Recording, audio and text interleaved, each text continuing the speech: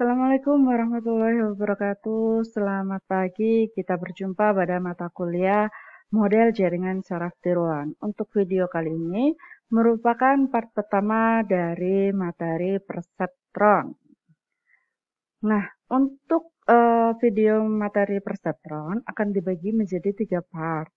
Untuk yang part pertama mengenai pengenalan perseptron, kemudian arsitekturnya, dan yang terakhir adalah teorema konvergensi pembelajaran perseptron.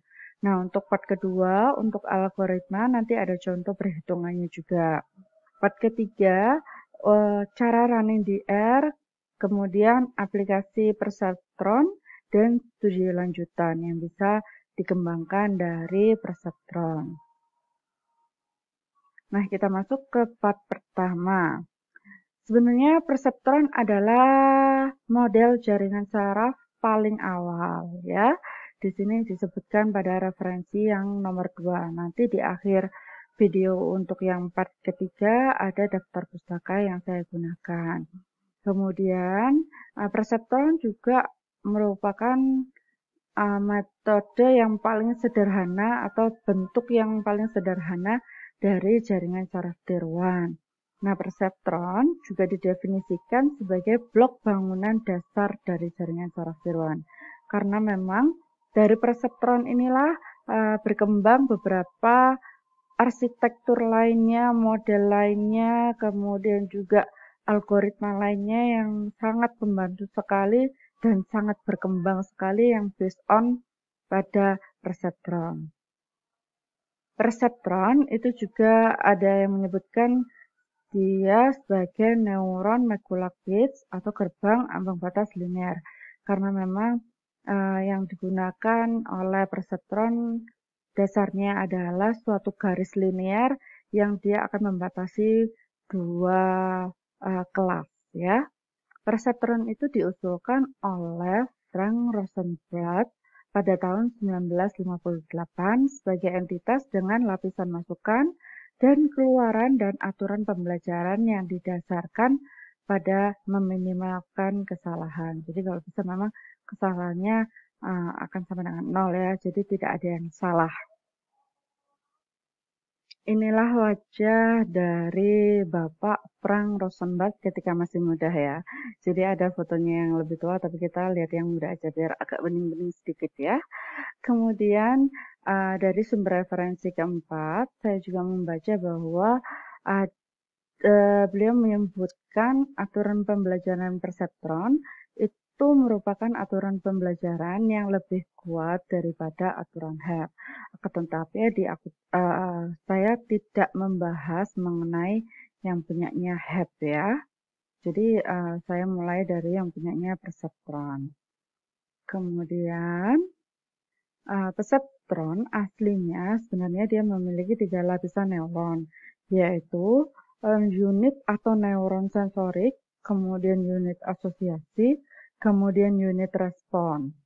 Nah, dari ketiga neuron tersebut membentuk model perkiraan retina. Jadi uh, di retina itu ada ketiga lapisan ini. Nah, karena tiga lapisan ini cukup uh, sulit juga, ya, oleh karena itu perseptron yang lebih sederhanakan memiliki hanya dua uh, neuron saja ya, yaitu neuron input dan langsung ke neuron output. Nah, sebenarnya dia lebih uh, ke sensorik uh, dari sensorik ke asosiasi karena memang untuk yang respon itu agak susah ya sehingga uh, ke depannya atau seterusnya si perseptron ini nantinya dia terinspirasinya dari neuron sensorik ke neuron asosiasi. Rosenberg menggunakan perseptron satu lapis untuk klasifikasi pola yang dapat dipisahkan secara linear. Jadi kalau misalkan uh, garis pemisahnya bukan linear, berarti uh, perseptron ini tidak baik untuk digunakan, ya. Kemudian uh, dalam pembelajaran mesin atau mesin learning, perseptron adalah algoritma untuk pembelajaran yang diawasi, ya, supervised karena dia memiliki atau uh, terdapat variabel y-nya atau variabel dependennya.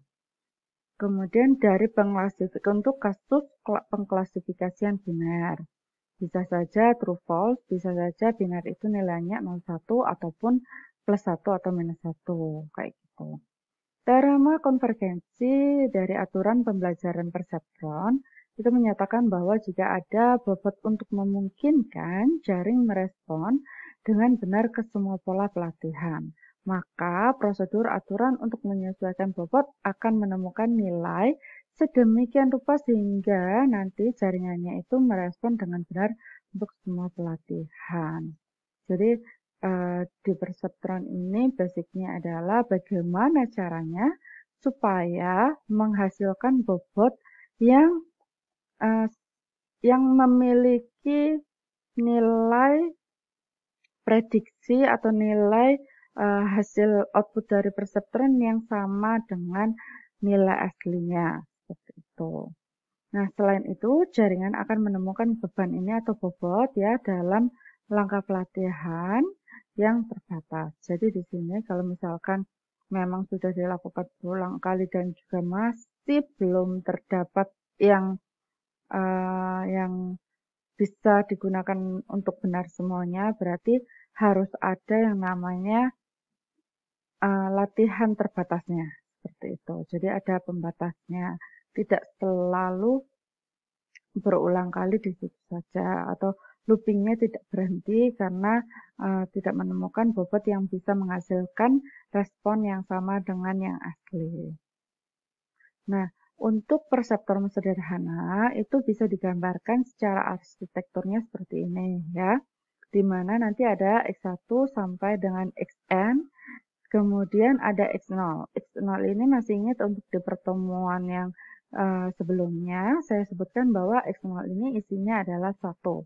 Sehingga dia merupakan suatu konstanta dan W0-nya bisa saja disebut sebagai pembobot konstan. ya. Untuk pembobot W1, dia merupakan uh, bobot X terhadap Y.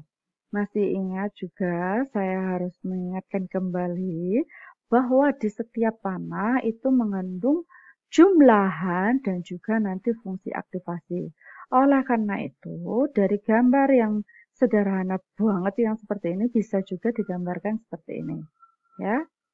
Dan uh, kita tahu biasanya untuk perseptron sederhana itu fungsi aktivasi yang digunakan adalah binary step function. Jadi karena dia klasifikasi tadi plus 1 atau minus 1, 0 atau 1 itu adalah uh, undak biner seperti itu. Itu bahasa Indonesia-nya.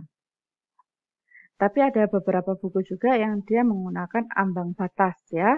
Nah, ambang batas itu ada datanya yang ditentukan. Nah, bisa ditulis seperti ini ataupun nanti kalau yang seperti ini itu adalah nol ya datanya yang biasanya digunakan. Jadi plus 1 atau minus 1 itu hanya bisa digunakan kalau uh, ambang batasnya 0. Tapi nanti ada juga kalau benar-benar yang menggunakan ambang batas tidak yang seperti ini. Nanti di slide berikutnya ada ya.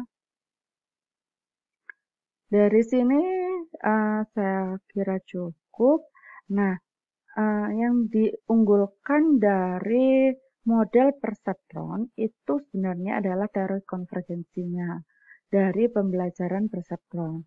Nah, aturannya sebenarnya di perseptron untuk pembelajaran itu kan uh, ada suatu set atau himpunan yang terbatas, jadi dia tidak uh, datanya tahu ada seberapa banyak.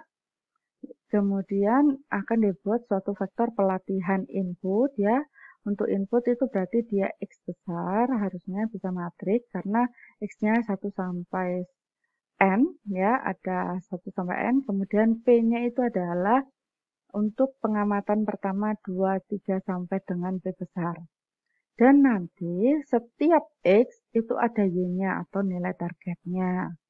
Saya di sini menggunakan Y saja, ada pula buku yang menuliskannya menggunakan T. Akan tetapi di dalam uh, PowerPoint ini sudah saya seragamkan semuanya bahwa untuk nilai target asli itu adalah Y, Kemudian untuk nilai hasil dari uh, itu adalah nilai prediksi dari target atau Y Nah, di sini masih menggunakan datanya adalah 0 ya. masih belum uh, saya perbaiki. Nanti mungkin di part kedua yang sudah ada. Kemudian di sini kita tahu bahwa ada bobotnya juga. Kemudian bobot atau bobotnya yang berjalan ini ada I, itu saya gunakan 0 sampai N. Karena memang, sorry, ini harusnya P, karena datanya sebanyak P. Enggak, oh maaf ya, bukan sebanyak P, sebanyak N, karena N itu adalah banyaknya X. Jadi ini berbeda. Kalau pengamatan itu P, kalau misalkan I ini di sini adalah banyaknya X ya.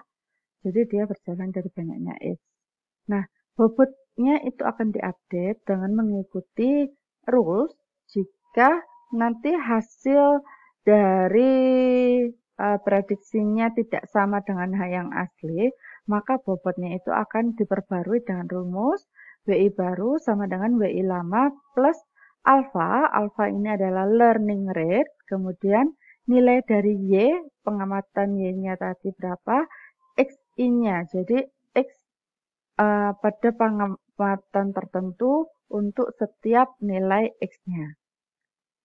Kalau misalkan sudah sama, berarti kita bisa menuliskannya uh, WI baru itu sama dengan WI lama.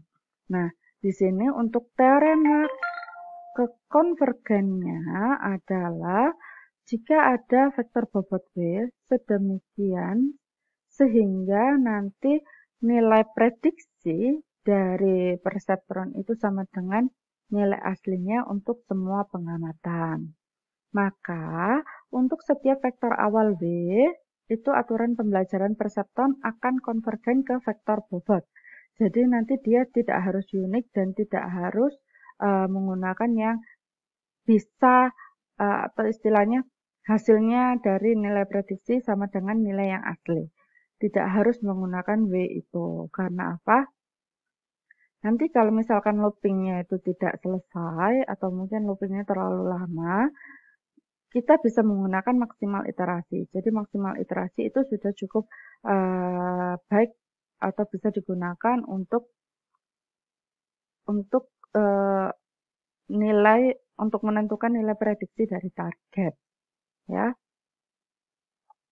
Jadi nilai W-nya yang tadi yang tidak uh, yang yang berhenti karena maksimal iterasi itu juga memberikan respon yang benar untuk semua pola pelatihan dan itu dilakukan dalam jumlah langkah yang terbatas ya.